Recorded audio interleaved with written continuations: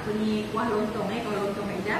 Bahan-bahan dia ha, apa ni? Serai, ikan bilis, bawang besar, bawang putih, uh, uh, serbuk ketumbar bulat dengan lengkuas eh. Kita blend semua ni eh. Lepas tu bahan-bahan dia tempe, carrot, soun, daun kunyit, pucuk tahu, tahu goreng, kacang panjang, daun salam eh atau belly kering yang dijual kat pasar raya dan apa ni kobis dan santan. Jom kita masak. Kita masukkan semua bahan dalam air ni dulu. Masukkan air. Lepas tu kita masukkan kunyit serbuk eh, kunyit serbuk.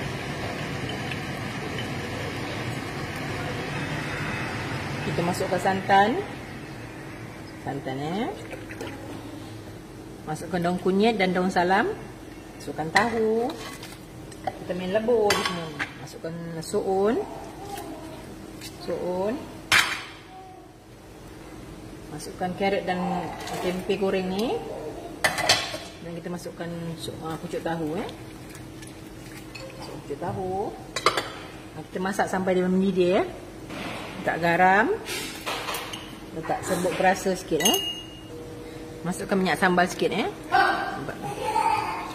Letak gula eh. Ha, biar dia rasa manis-manis sikit eh. Jangan manis sangat pula, manis-manis eh. Dah mendidih tu masukkan kacang panjang. Masukkan kopi eh. Kak Ida ni memang selalu buat banyak masak kat rumah ni.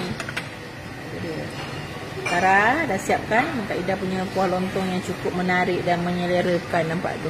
Ni kuah lontong Kak Ida style ya. Nampak tu dah masak kuah lontong Kak Ida.